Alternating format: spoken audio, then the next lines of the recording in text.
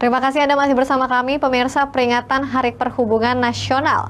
Tahun 2022, Menteri Perhubungan Budi Karya Sumadi bersama Gubernur Sumatera Selatan Herman Deru membagikan kartu elektronik LRT khusus untuk penyandang disabilitas.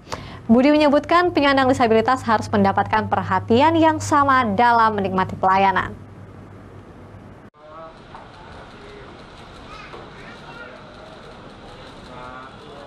Peringatan Hari Perhubungan Nasional diperingati Menteri Perhubungan Republik Indonesia Budi Karya Sumadi dengan pulang kampung ke Palembang.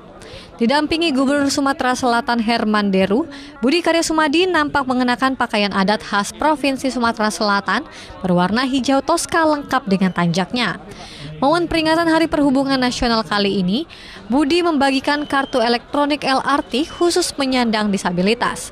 Para penyandang disabilitas menurutnya wajib mendapatkan perhatian yang sama dalam hal menikmati pelayanan publik yang diberikan pemerintah.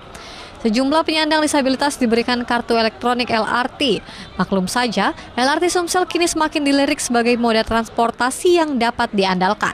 Sejak terintegrasi dengan angkot feeder dan bus, LRT Sumsel kini mampu mengangkut sebanyak 8.000 hingga 13.000 penumpang dalam sehari.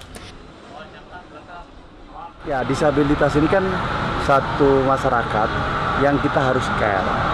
Dengan keterbatasan mereka, pasti kita harus memberikan uh, perhatian lebih. Uh, beruntung kita tidak, mengalami sedemikian, tapi mereka itu mempunyai hak yang sama. Mereka yang uh, disabilitas dalam bicara, ya, kaki dan sebagainya kita harus memperhatikan. Oleh karenanya, secara khusus gubernur melakukan itu agar mereka punya kesempatan yang sama untuk menggunakan jalan. Ini tentu uh, momen terbaik bagi kita pemerintah Provinsi Sumatera Selatan untuk menyampaikan dan menunjukkan komitmen kita terhadap uh, aksi dalam uh, pelayanan transportasi ini. Nah, apa kaitannya dengan para pejabat ini Bapak Menteri? Agar mereka tahu juga apa yang harus di-trigger, apa juga yang harus uh, kita tambahkan untuk layanan-layanan masyarakat. Salah satunya mungkin penambahan angkot ber-AC yang kemarin program Pak Menteri.